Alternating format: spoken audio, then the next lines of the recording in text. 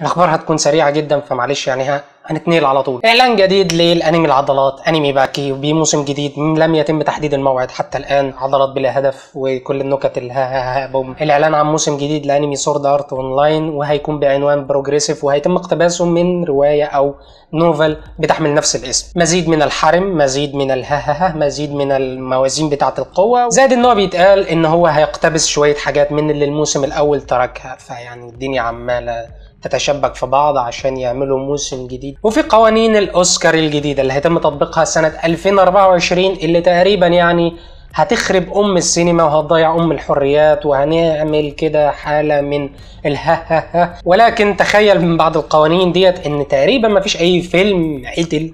فيلم موزون فيلم طبيعي هياخد جائزة الأوسكار مرة تانية لحد ما يتم إلغاء القوانين دي. القاعدة أو الشرط الأول تواجد ممثل رئيسي أو مساعد من الأقليات أو من الجنسيات أو من الأشخاص اللي بيندر رؤيتهم في الأفلام. ثانيا تواجد 30% من الكاست أو من الممثلين أو الأدوار الفرعية أو الرئيسية بقى أو الصغيرة في الفيلم لازم يكونوا من الفئات اللي جاي. لازم. نساء شواذ ذوي احتياجات خاصة وصم أو يواجهون مشاكل في السمع. ثلاثة ضرورة إن يكون السيناريو أو القصة رايحة في ناحية الاتجاه ده أو بتتكلم عن الفئة المعينة دي. النساء الشواذ مجموعة عرقية ذوي احتياجات خاصة. رابعا وده يعني تكرما منهم إن هم يعني ممكن يسمحوا للفيلم اللي هيحقق شرطين إن هو يعني يترشح يعني أنا مش فاهم أنا إيه الخرا اللي على دماغهم ده يعني إيه يعني يعني لو فيلم أساسا بنحكي عن قصة ما والفيلم اتعمل بشكل عبقري وموزون و perfect و... وكل الكلام الجميل ده ولكنه بيحكي عن قصة القصة ذات نفسها ما بتشترطش إن يتم الخوض في الكلام ده كله نعمل إيه؟ فين فين أم الحرية؟ فين أم؟ مارفل تقرر تأجيل فيلم Black Widow لنهاية السنة أو لأقصى نهاية السنة وديت تقريبا المرة الكام في إن هم يأجلوا الفيلم ده مع إن خلاص يعني السينمات المفروض إن هي اتفتحت مش بالشكل الكامل ولكن تم فتحها في عندنا في مصر يعني سينمات فمش عارف يعني. حصول فيلم Your Name على فيلم واقعي أو فيلم حي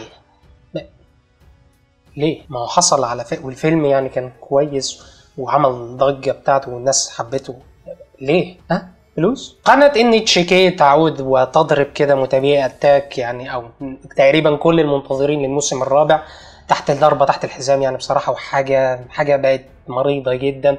إلغاء الموعد عرض الموسم الرابع لأجل غير مسمى وبدون تقريبا أي سبب ولحد دلوقتي مش عارفين الأنمي ممكن يرجع إمتى. المقرر إن هو كان هيكون في شهر أكتوبر اللي جاي ولكن محدش بقى فاهم أي حاجة دلوقتي. هل المسلسل جاهز؟ ولا هل بالفعل يعني زي ما في ناس كانت بتههها كده وبتقول إن النهاية بتاعت المانجا خلتهم انهم يفكروا في الموضوع يعني يعني حاولوا انهم يغيروا النهاية مثلا. أعلنتوا عن ميعاد عرض ليه طالما أنتوا لسه لحد دلوقتي مش متأكدين إذا كان الأنمي جاهز ولا لأ. ملصق ترويجي جديد لأنمي Great Pretender وإن شاء الله هيكون في مراجعة للأنمي ده. بعد ما خلصوا لو كان في عندي كلام كتير عنه ولكن الملصق الترويجي ده خاص بالحلقات من 15 لحد 23 اللي من المقرر إنهم هيتعرضوا في اليابان يوم الاثنين القادم في 9 أكتوبر القادم في إعلان هام خاص بمانجا Berserk و...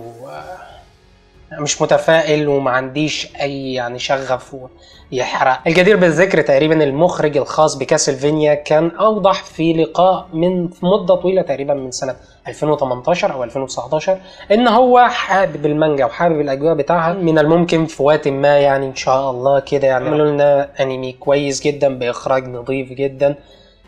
بس هل ده هو فعلا الإعلان ولا هل هو مجرد إن هو هيجي يقول لنا إيه فصل جديد؟ وإحنا نفرح طبعا إن فصل جديد ديت حاجة مبهرة بالنسبة لنا. استطاعت المانجا الخارقة مانجا كيميتسو نو أن تصل إلى 100 مليون نسخة مطبوعة.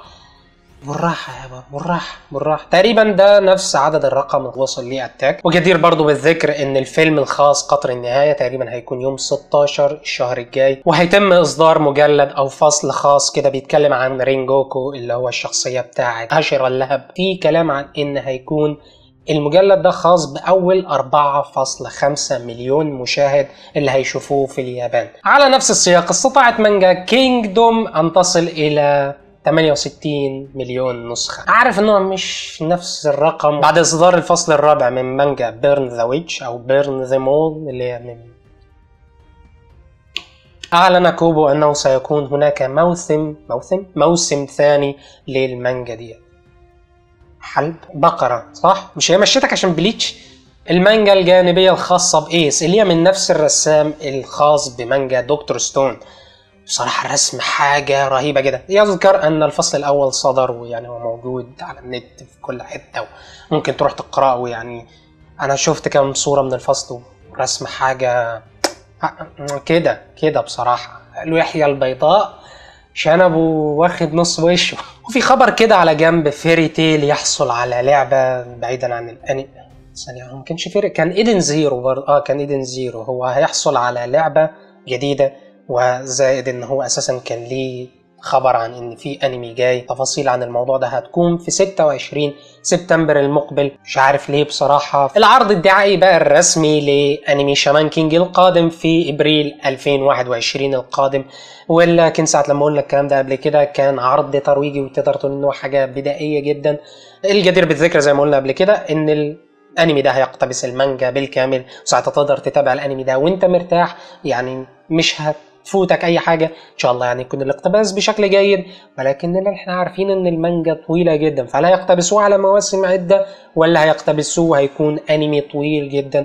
وإن شاء الله يعني بإذن الله يكون في مراجعات للأنمي ده لو كان حلو كده وصادم من بدايته وحاجة جدا. الكشف عن الملصق الترويجي للأنمي القادم يوم 5 أكتوبر Golden Kamuy بموسمه الثالث. يعني إن شاء الله هيكون في مراجعه للثلاث مواسم ولكن بعدين. حصول مانجا Homunculus على فيلم حي قادم في عام 2021 المانجا ديت أنا قرأت بعض الفصول منها ونوعا ما في البداية ما عجبتنيش ولكن بعد ما تذكرت الأجواء بتاعتها دلوقتي افتكرت إن أنا أنا يعني عملت drop العمل ده إزاي؟ أو يعني سبت وركنته كده من ساعتها إزاي؟ أنا قرأت تقريبا حوالي ممكن خمس ست فصول وبصراحة لما برجع أفتكر الأجواء بتاعتها الأجواء كانت creepy وحاجة كده حاجة فعلا تشد. الجدير بالذكر إن مبيعات المانجا ديت وصلت ل 4 مليون نسخة. 4% من كيميتسو نو يايبا لا لا لا, لا يعني هيكون مستواه 4% أكيد. أنا بقول إيه؟ اللي بعده صدور العرض الترويجي للفيلم القادم يوم 18 سبتمبر اللي هو عدى لفيلم أو المكمل الأحداث لأنمي Violet Evergarden.